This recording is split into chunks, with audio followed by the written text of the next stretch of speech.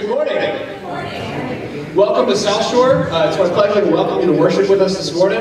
Uh, this is a safe place where we'll give you some instructions about sitting and standing. Uh, we'll ask you to stand at some places. If at any time you would rather sit down, you are of course welcome to do so.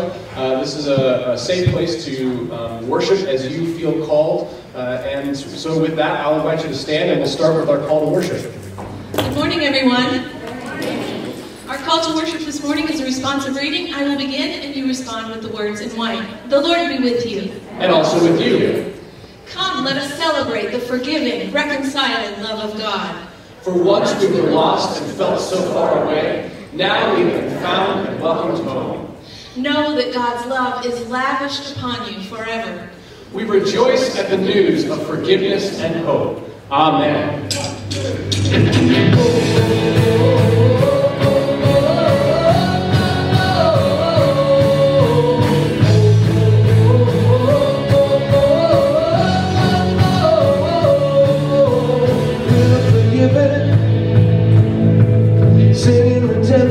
There's a fire that burns inside,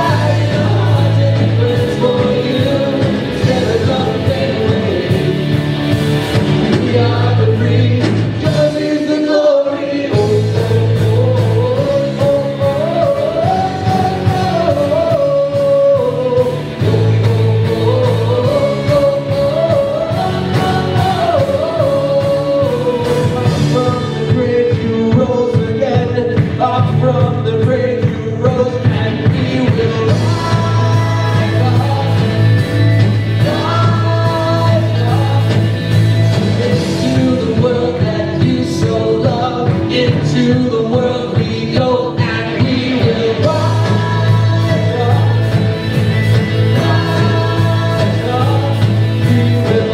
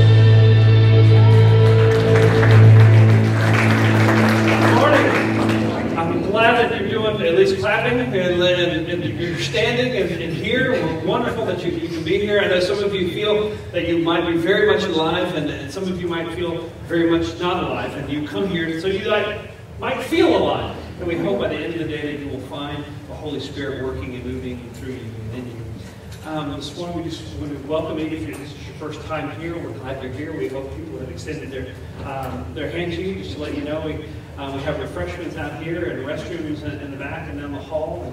And, and uh, we just hope that you just really feel welcome and that you all welcome each other. We have some good news to announce to you. Um, Justin and Andrea Deal uh, have a son, um, Corbin, they just had last night. I was I was laughing. At, I remember when my daughter was born, and, I would just look at Amanda and go, "We haven't messed her up yet." And I mean, she's not messed up yet. She's perfect in every way right here, and uh, that's the God's love working through us. So be a prayer for um, for the Deal family and, and just celebrate in that new life that's happening. Also, we'll let you know we um, are in the series of the Prodigal God. We have probably seen out there small group sign-ups, and we hope that you um, uh, get a chance to sign up for those and, and have a chance to, to get involved in a small group. How many of you have been in a small group before? Um, and how many of you enjoyed your small group?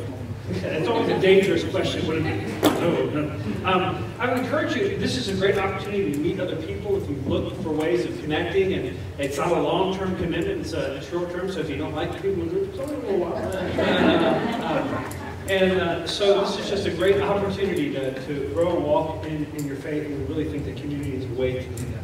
Um, with that, though, I hope at this point you, you just take the time to pass the peace of prize, say hello to someone. If you see someone you haven't met or, or haven't seen in a while, say hello. Yeah, I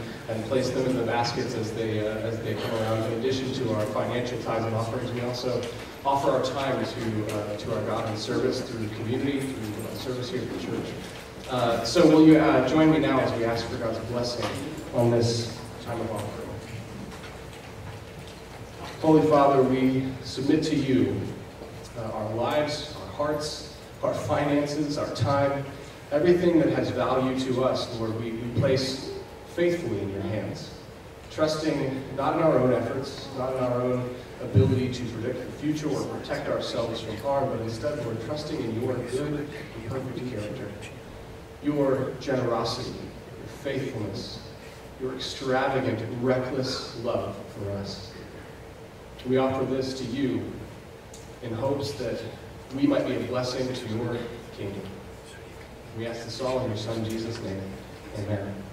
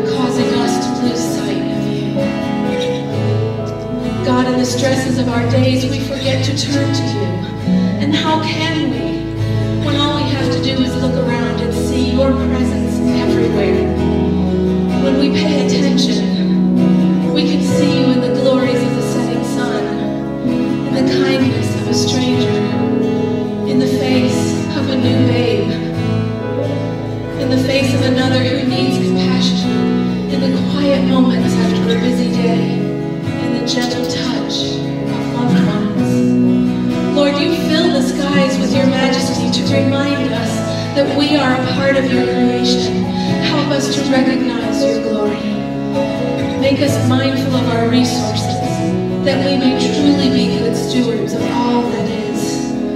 God, we want to honor you and the gifts of your creation. We don't want to be a people who live in the fearful, angry shadows any longer. Free us, Father. You are our God, and your works are amazingly wonderful. Eternal God, we know that you long for us to sing a new song.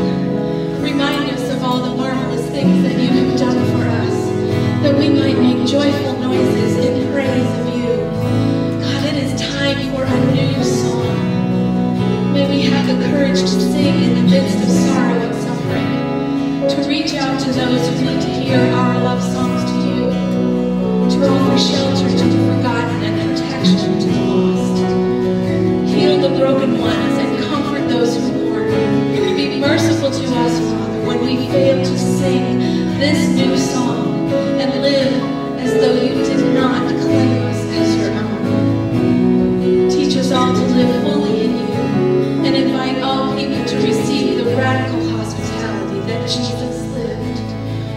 For in Jesus Christ you make us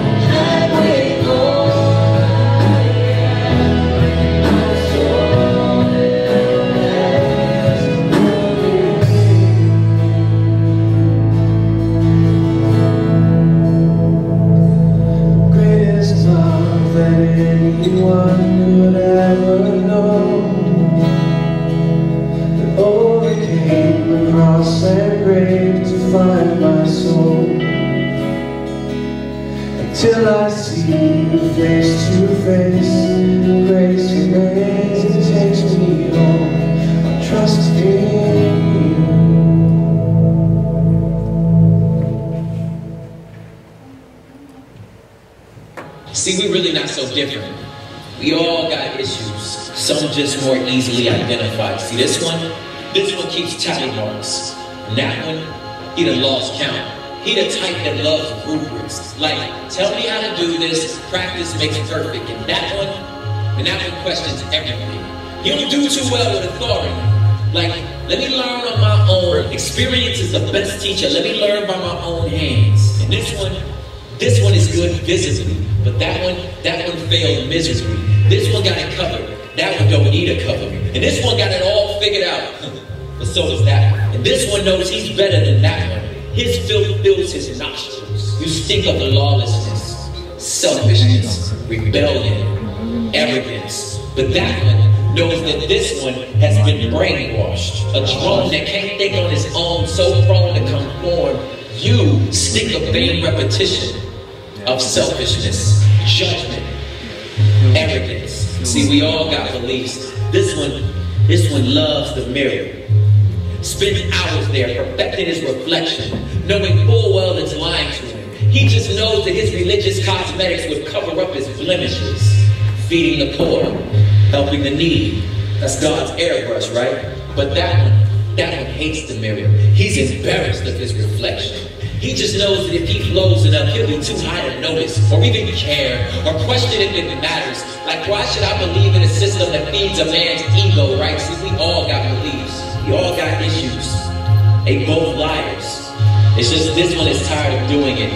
And that one thinks he earned it. And that one don't deserve it. But that one agrees. So he believes if I master these 12 steps, perfect this prayer, then I would be okay. And that one agrees that if this one was more like me, we would both be okay. See, we all got beliefs. We both believe in our own means. This one keeps up good deeds. He's involved in social justice. Let me prove it. He has never let a tool click, but he's been so judgmental on souls he's left bruises. As if his filthy rag righteousness makes him any better than that one. Homie, let's say they were both swimming to Hawaii.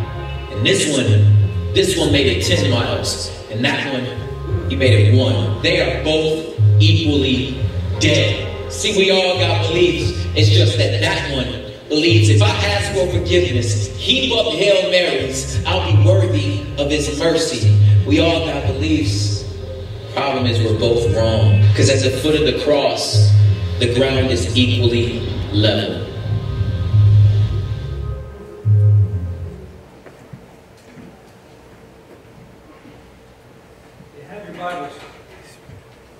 You have your Bibles. I want you to turn to Galatians 5. Okay? And I know we're working out of Luke. We're looking at working out of Luke 15. But I'd like you to look Galatians 5, 1, because I think this really ties in. And this is, you're going to write down a verse this week. Write this one down. 5, 1. Where? I'm going to wake you guys up this morning. Galatians, with me. Galatians. It says this Paul writes, It is for freedom, for freedom that Christ has set us free. Hear that? For freedom, Christ has set us free. Stand firm then. And don't let yourselves be burdened again by a yoke of slavery. Galatians 5 1. It is for freedom that we have been set free. So do not let yourselves be burdened again by the yoke of slavery. This sounds good. We want freedom. We come here. We want freedom. We want life. We want it abundantly. But here's the problem is that we walk along and we suddenly put ourselves back in chains. This is a lot of what Paul talks about in Galatians. He looks at the problem of law and the problem of lawlessness and how we end up binding ourselves in these areas and trapping ourselves and never achieving that freedom that we long for. Here's a little exercise. I'd like everyone to raise your hand. Everybody raise your hand. There's the only way I get Methodists to raise your hand and participate. All right. Um, so I suddenly got louder. Keep up, keep up, don't put down. Um, now, if you did not sin at all last week, put your hands down. You guys didn't sin at all last week? That's something. If you did not not sin, if you did not sin at all, I was just impressed. You don't have to. I mean, if you didn't, um, and my hand's still up. Now look around. Everyone's hand is still up. Um, some of you might have been thinking, you get down. Um, um, sorry if I called you out. um, some of us might have thought that if I went in the church, the walls would come down. With this idea that I, I'm not good enough for church. But here's the secret about church that there is none righteous, not one, that we've all sinned and fallen short of the glory of God. There's no finger that can point out. Jesus says, Judge not, lest ye be judged. I think it's the one scripture that everyone in the world knows. Because um, there's the ones quickly to point it right back at the, the Christians. How don't you know that one verse? Like, do you know any other verse? Well, we, we have this idea and we start talking about sin and it makes us uncomfortable. What is sin? What does it look like? And the problem we have, I think, with sin is that it reeks of judgment. Um, it reeks of self-righteousness. And, and we only like to use it when it refers to someone else. And that's that, that, that question of what is it? The other problem with sin is that it's sneaky and it's subversive. And I don't think that we really know what it, what it means. It's like in Princess Bride. You keep using that word. I don't think it means what you think it is. Y'all know this movie, right? If you don't, you can leave now and go watch it, because you should. Princess Bride. Um, we think we know what sin is, but we don't know. And Jesus knows we don't know. And so he comes to us to bring light, to shed light on our lives. And that's the, that's the thing about sin is so often what happens is um, when it, we shine a light on it, we scurry into the darkness, kind of like the roaches. You shine a light, and they go back to the cover. We get afraid of the light, but the good thing about light is that it begins to reveal what it is that is in us so that we can get better, that we can grow, that we can become alive. How many of you want to live? Say, just say, I want to live. Are you willing to say that? I want to live. I want. Yeah, you sound like Eeyore. oh, bro. Guess we'll live today. Say it like you mean it. I want to live. I want to live. Show me the way. We have this idea, and that's the good news is that Jesus comes to us and he says, I want to give you life, and I've been saying this, I hope you know it by now, so that you might have it abundantly. That's right, exactly. That's life to give. I, I, hang my life on this, and I want to have that abundant life. Now, throughout my life, discovering what abundance means, um, has changed its form. But to know what real living is, it's the story from the beginning of time of God bringing forth life. And I think one of the reasons we misunderstand sin is because of this. And one of the reasons we misunderstand sin is because we misunderstand God. That we don't really know God like we think we do. We're studying this book called Prodigal God. And I know it can seem like a strange title, um, but the word prodigal, it means reckless, extravagant. And it's having spent everything. What I believe is that Scripture shows us that God is recklessly extravagant in his love towards us. That his mission is to bring life to us. Now here's the thing, when God is on a mission and he wants to bring you life, it's not always comfortable. I don't, none of you probably remember your own birth, but it wasn't comfortable. We all cried a lot. We, you know, we, came out a bloody mess. It was, it was bad. You remember your child's birth, and, and I think there's a reason we don't have memory to that, um, that moment, and, and I'm sure many mothers wish they did have that memory. And, but it, it's painful sometimes, the birthing process, but through that, we discover life life. Life, the first cries, the first laughter, the first hope, the first breath. Sin are the things that keep us from that mission. Sin is the thing that keeps us from God. That's the simple definition. The character of God. In the beginning, God said, Let there be, and there was. God created light and life from a word. The Aborigines, uh, um, they, they believe that God sung creation into being. I love that imagery of God singing life into being. But here's the thing I begin to think of. It doesn't say, I mean, it says God created light and life. It doesn't say that God created people who will suffer and serve me until I create a nice place of land, a nice piece of land, one day in the future after they've suffered enough says he made light with a word. When I start thinking about that idea of God needing me, I kind of I wonder if God laughs says, "Need you? I made life out of nothing. What do I need you for?" As if God needs me to accomplish something. But here's what I realize in discovery is that God wants me. He wants you. He loves you. God is, He doesn't need us to love. There's, there's an idea out there that that God needs someone else to love. But God is perfect in himself, a perfect trinity, three in one. He has perfect love in there. He chose. He wants to love you, call you to life. So we search throughout Scripture. We see God creating environments of life. This is the very nature of God from the beginning and for eternity is to create life. As a matter of fact, it's, it's amazing we see in Genesis just this grand sweep of the, the whole human story. And we have, um, very quickly, the Israelites find themselves in slavery. Their life is being taken. Humans just taking life from one another, putting each other in, in, bondage. And even if it wasn't from their own captors, it's with each other and the, the bitterness between. And so God delivers them and brings them into life. And the first thing he does is he gives the Ten Commandments. Now, we can already we can see and maybe start thinking, oh, he gives rules on the way. I mean, what's I'm not a, I don't like rules. I like when other people have rules, but I don't want to make the rules myself. And uh, it's been kind of my, my tension in my life. But that God, um, the the goal of the Ten Commandments, though, it wasn't to bring oppression, but liberation. He says they've forgotten how to live. He says, I want to call you to life. The purpose of the law was not the end the law was not the end, but a step to life that he was calling us to. So remember this, the character and nature of God is always life. And so if God is opposed to sin, then what is sin? Sin is death. Sin is oppression. Sin is bondage. Sin. Genesis points out this picture of sin right in the beginning. You have this just within a few short chapters, life, creation, life, God creating life.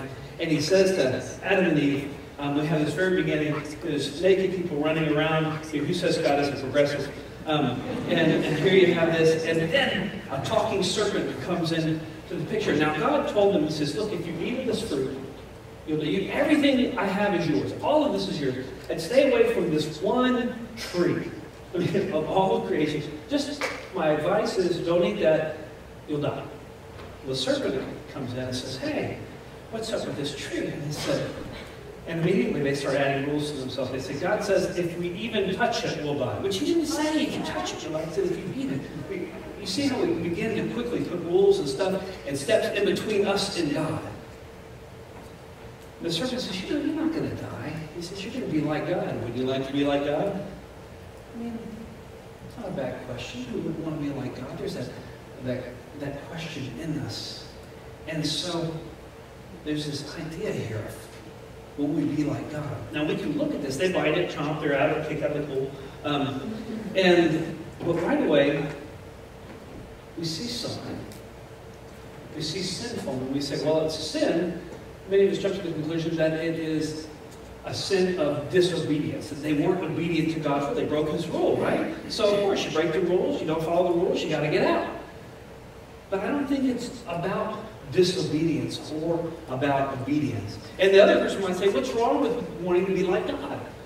Well, what is wrong with that? What, and, and, and so here's where I think the sin occurs, and we get a really good picture of sin here, is that they wanted the things of God, but not God himself.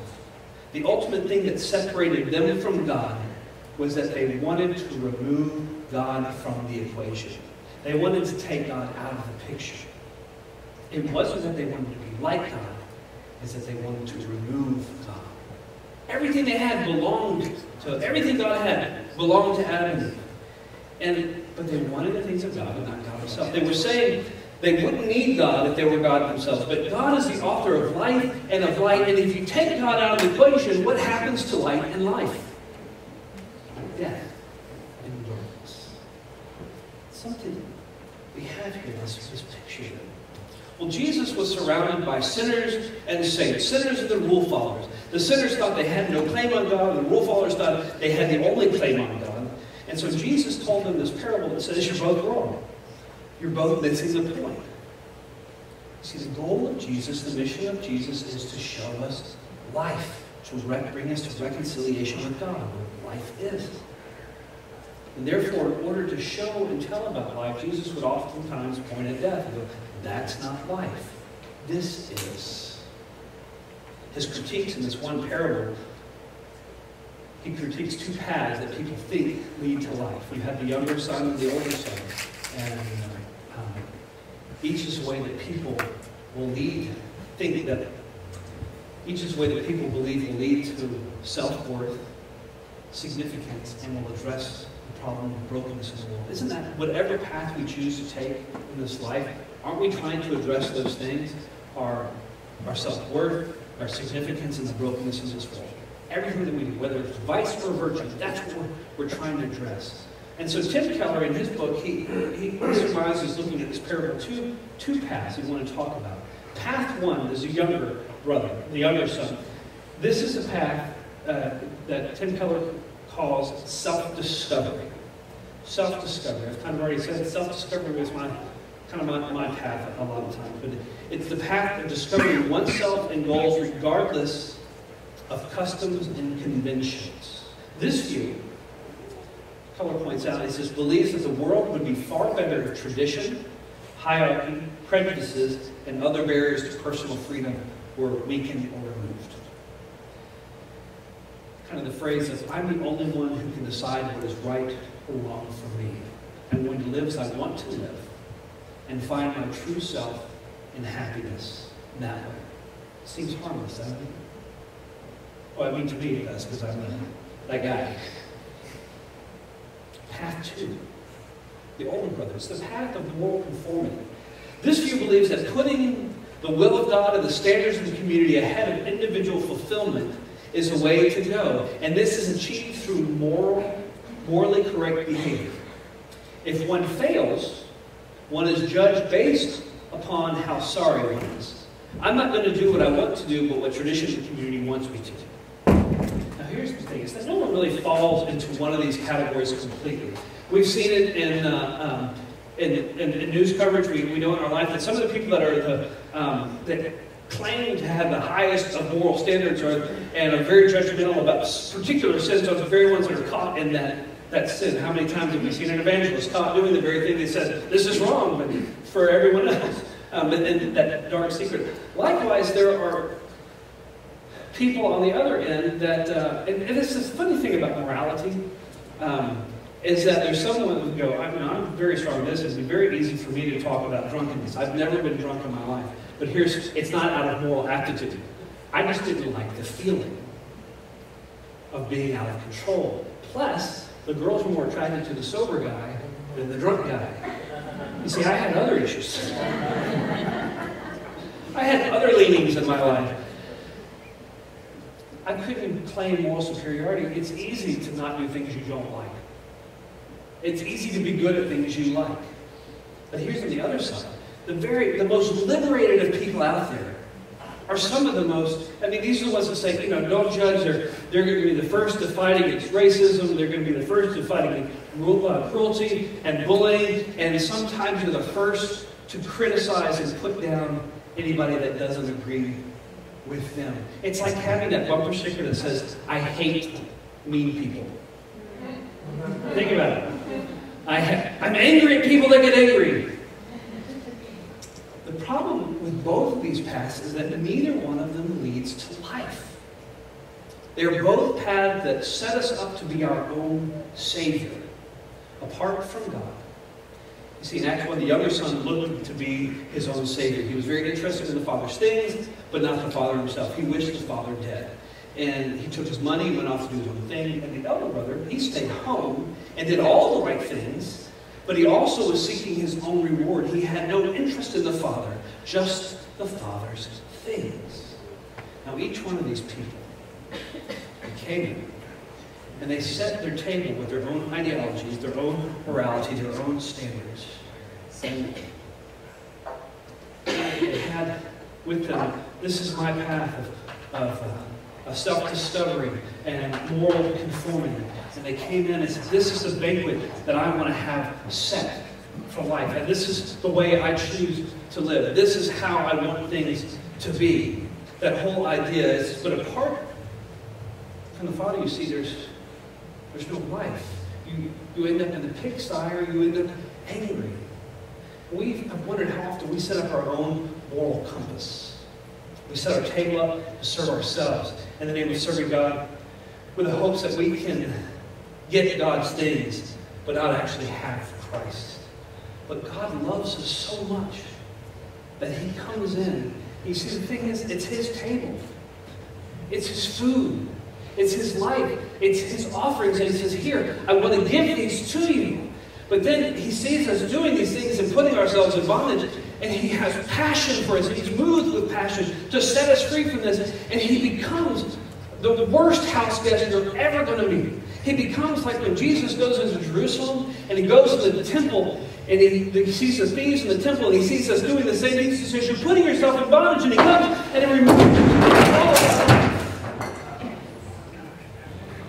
And he wrecks our table. He says, You're killing yourself. You're breaking yourself. You're destroying yourself. Let me set you free. Let me make you whole. He's passionate to make us alive. And it breaks his heart to see us enslaved. You see, he says, I don't want your sacrifices. I want you. I want you. I don't want your sacrifices. I want you. You see, sin is not just about failing to keep rules. It's about following. It's not about following rules. Sin is about the things that keep us from the Father. Ever since we got kicked out of the Garden of Eden, on our own choices, we've been trying to buy our way back in.